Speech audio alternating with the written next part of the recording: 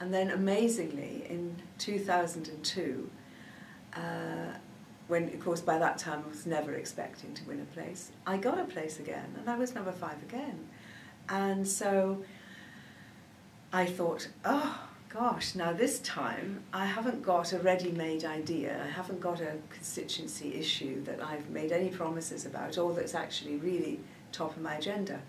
But I had become, uh, as Jeff referred to earlier, you know, I'd worked in SERA, I think I'd become a patron or something on the executive over a period. I'd done a lot of environmental work and I was very, very keen, as most environmentalists were at that time, on recycling.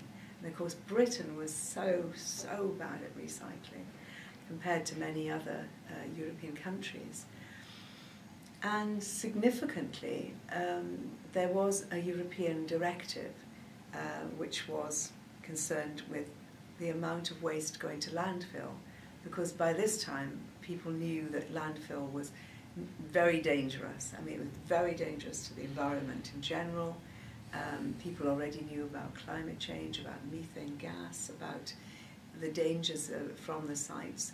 And there, was, there were even questions at that time, I'm not sure how, if they were ever proven, there were, there were issues of concern about even birth defects arising from uh, the pollution to households living very close to landfill. And that was particularly the case in South Wales. Yes, it was, wasn't it, Jeff? There.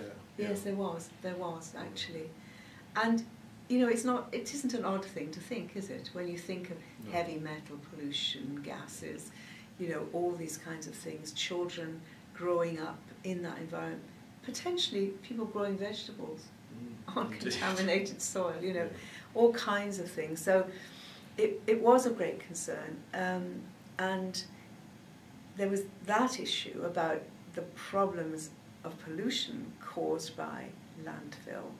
But the other issue, which was so important and had had very, very little thought given to it, was the waste of resources.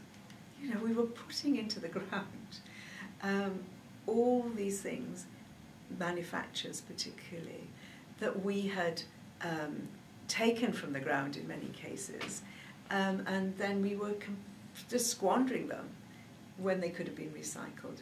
And the issue of plastics, of course, was very, very significant because the use of plastics had grown exponentially and the persistence of plastics in the environment was now known to be a very serious matter. So there were a lot of drivers